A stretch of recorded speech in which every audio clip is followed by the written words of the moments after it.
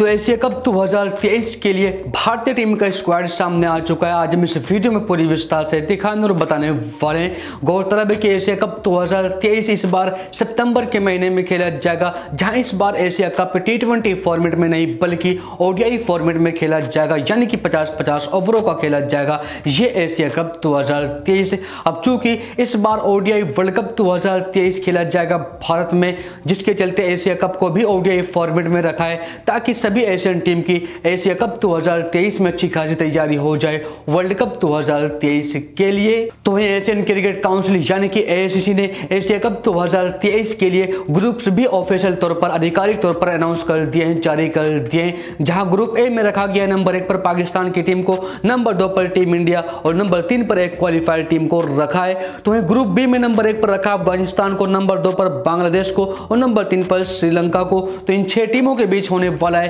Asia cup 2023 आपको बता दें कि एशिया कप 2023 की होस्टिंग राइट पीसीबी यानी कि पाकिस्तान क्रिकेट बोर्ड के पास है। तो आखिर एशिया कप 2023 के लिए क्या होने वाला टीम इंडिया के 15 खिलाड़ियों का टीम स्क्वाड इस वीडियो में आगे आपको पूरी विस्तार से बताएँगे। लेकिन उससे पहले अगर आप भी आईपीएल और क्रिकेट की वर्ल्ड में सबसे फास्ट सबसे पहले हर एक न्यूज़ अपडेट्स और वीडियोस पाना चाहते हैं तो भाई फटाफट हमारे टेलीग्राम चैनल को ज्वाइन कर लीजिए। उसका लिंक वीडियो के नीचे डिस्क्रिप्शन में और कमेंट बॉक्स में सबसे ऊपर पिन कर दिया। लिंक पर क्लिक करिए और टेलीग्राम चैनल को ज्वाइन करिए।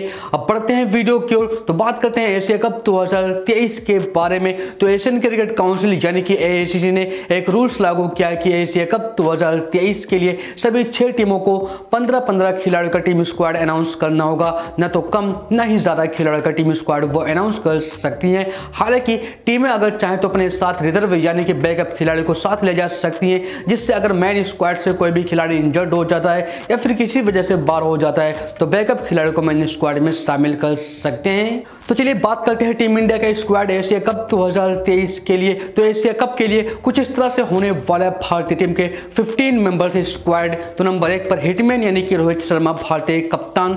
नंबर दो पर Hardik Pandya vice captain number तीन शुभमान गिल। नंबर चार विराट कोहली। नंबर पाँच के राहुल।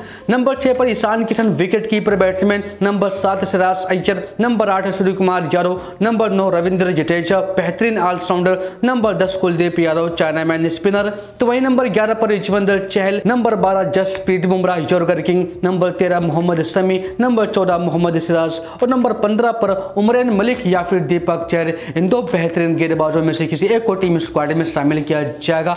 तेरह टीम इंडिया का 15 मेंबर्स स्क्वाड एशिया कप 2023 के लिए तो वही सोर्सेस के अनुसार एशिया कप 2023 के लिए तीन बैकअप, यानी कि तीन रिज़र्व खिलाड़ियों को भी सिलेक्ट किया जाएगा, जिसके नाम कुछ इस तरह से हैं। नंबर एक अक्षर पटेल, स्पिनर ऑलराउंडर, जबकि नंबर दो, शार्दुल ठाकुर, बॉलिंग ऑलराउंडर, जबकि नंबर तीन, दीपक चहर या फिर उमरैन मलिक, जिस खिलाड़ी को मैन टीम स्क्वाड में शामिल किया जाएगा, वो तो मैन स्क्वाड में ही रहेगा, लेकिन जिस खिलाड़ी को सिलेक्ट नहीं किया जाएगा, उसे बैकअप के तौर पर टीम स्क्वाड में शामिल किया जाएगा। और जहाँ तक बात रही संजू सैमसन को लेकर तो Sanju Samson not out one of the best खिलाड़ी माने जाते हैं। भारत के। लेकिन भारतीय चयनकर्ताओं के अनुसार, अगर भारतीय टीम स्क्वाड में से सिराज अय्यर या फिर सूर्य कुमार यादव, इन दो में से अगर कोई भी खिलाड़ी इंजर्ड होता है या फिर किसी वजह से बाहर होता है, तभी संजू सैमसन को भारतीय टीम स्क्वाड में एंट्री मिलेगी, वरना फिर संजू सैमसन का पत्ता कट जाएगा। तो एशिया कप 2023 के लिए यह संभावित टीम स्क्वाड सामने आ चुका है, जहाँ ऑफिशियली आधिकारिक तौर पर अभी तक बीसीआई ने टीम इंडिया का स्क्वाड जारी नहीं किया है अनाउंस नहीं किया है एशिया कप के लिए। लेकिन ये संभावित यानी कि